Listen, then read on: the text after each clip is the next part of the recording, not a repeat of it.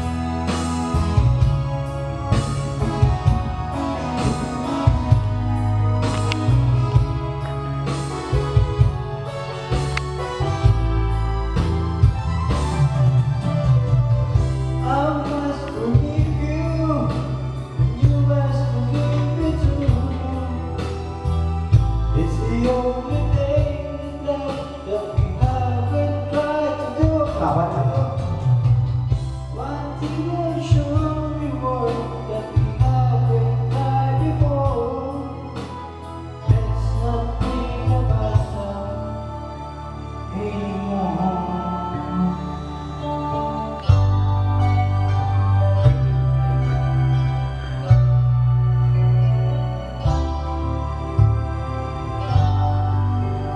ako. Patingin nga ako. Oo, pangit